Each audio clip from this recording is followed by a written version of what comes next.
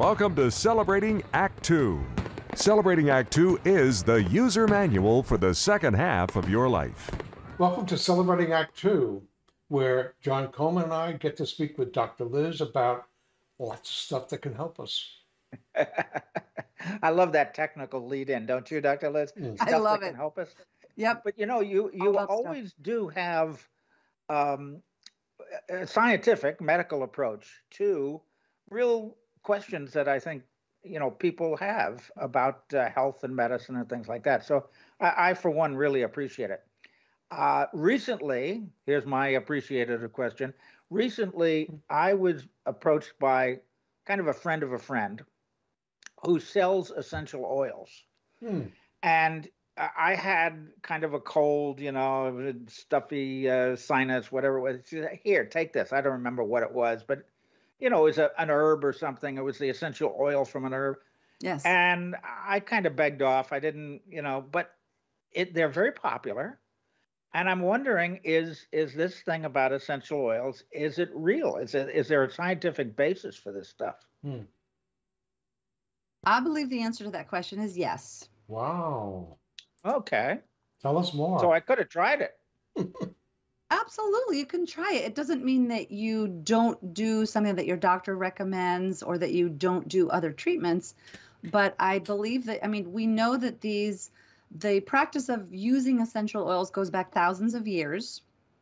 Hmm. the there's no clear knowledge of how it began however one explanation that i read that seemed as reasonable as any other is that at some point when humans started burning using fire that Oh. most likely some leaves of some sort got burned accidentally and they realized that there were different aromas Sure. and different effects okay Yeah. so using smoke as part of healing techniques is something that we've seen evidence of thousands of years ago.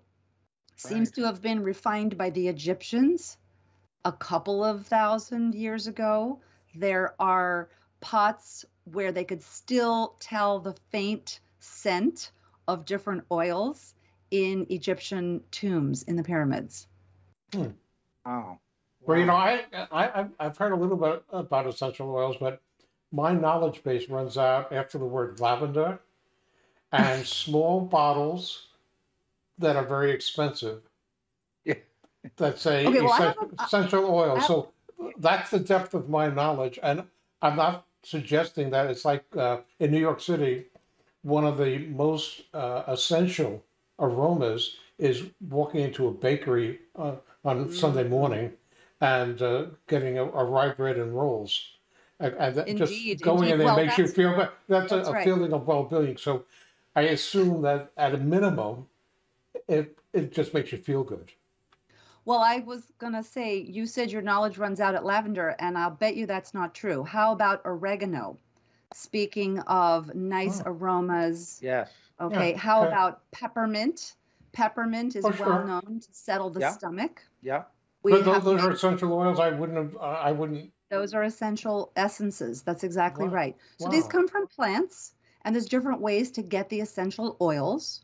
All right. So in and this is interesting. The oils in the plants are in different areas of the plant, different times of the day, and different times during the year. So during the year makes sense, right? If the plant is flowering or Sure. not. But I thought it was very. I was fascinated to learn that even different times of day the plant essences will be located in different areas of the plant. Yes. So, one way you would imagine is very straightforward parts of the plant, the leaves or the flowers, crushed or pressed and mixed with water or some other type of solvent and sort of boiled, let's say boiled all together yeah. uh, or running steam through it. And then the oils separate out from the liquid Yeah. from the water. Hmm. Okay. And then, of course, there could be something. Oh, here's another one that you're aware of, but you just didn't think of it as an essential oil is citrus. Citrus. Citrus. Yeah. Mhm. Okay, Right. that- So we get a lovely feeling from uh, lemon or orange. And those are a little bit different process. It's from it's in the peel. That's in the Mm. peel of the fruit. And that's a straight pressing. That is a press. Right. Yeah. Okay. And then the oil again separates from the water, and that is how uh, we start. That, that is how essential oils are made. Yeah. Well, you they're made see, to be I- they're I- made to be in, in, inhaled as opposed to uh, people don't take pills or anything like that, do they?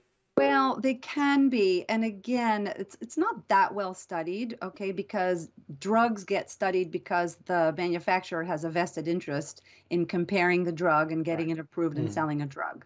So essential oils haven't been tested exactly the same way, but they can be ingested. More commonly, it's either inhaled aromatherapy, for example, or some. uh, We've talked about peppermint that can be ingested, but also applied topically. Hmm. Okay, That's so interesting. so You know, the calendula flower is used for uh, scratches, cuts. There, there's there's a lot of uses that uh, exist in the world. We just don't necessarily think about them. But it is Sure. becoming more popular now and more of a topic of discussion. Sure. Um, you know, I've got a, a little grove out behind the house, and I know um, for a fact that certain trees, um, the flower will open up the female uh, organs of the flower in the morning and not in the afternoon, and vice versa. And it, and so sometimes you need different different uh, trees of the same family to cross pollinate each other. So the idea that it's a complicated method to extract the oils of these plants, it, makes total sense. You can see why it would be expensive. Uh, it's not the same as squeezing a lemon, you know, and getting lemon juice. That's So, right. uh, That's exactly right. We're talking about the oils in the skin, not necessarily the, Yep, the water soluble juices. Yeah, we're talking more about the oils. sure. And Sure. also to what we were uh, we were just talking about, they're very potent. The oils are very strong. Yeah. And so, for example, if one is mixing a, because I have also uh, seen and used kits where you have the bottles of the essential oils. And if you're going to mix it with something with a base, so let's say like an almond oil, something kind of, or olive oil, that's another way to mix it up. Yeah. Uh, and the percentage is going to be about two, two and a half percent of the essential oil and 97 and a half percent of the Oh, base so, oil. So you're talking just using drops. Right. That's right. Yeah. Exactly. Yeah. Yep. And olive oil is a good example of, I don't know that it's considered essential oil. It's essential to our cooking, but olive oil is is cheaper, easier to extract, and so you can buy, you know, for the price of a little um, essential oil, you can buy a quart of olive oil. Yeah. Indeed, indeed. And that's why, uh, speaking of cooking, we use different plants. We use oregano, we use thyme, right? We use these different uh, herbs uh, in various ways. Sometimes it's the oil, sometimes it's the leaves directly that we're using, sometimes they're dried. It, it really, that, that varies. Yeah. But Would, it- would, know, would it be fair, would it be fair to say that, uh, a, a bottom line is that, uh, essential oils probably can hurt you? Uh, assuming that you're just, uh, using aromatherapy as your, uh, as starting point for to come in. And if it makes you feel good, uh, then that's the worst that will happen is make you feel good or it won't, but it's probably not gonna hurt you. So that there's probably not much risk in people, uh, having fun with them. I agree. Okay. Well, good. I'm next time. I'm not going to turn this lady down. I'm gonna I'm gonna take her essential oils. So Give it a thank you. try and let us know how it goes. Okay.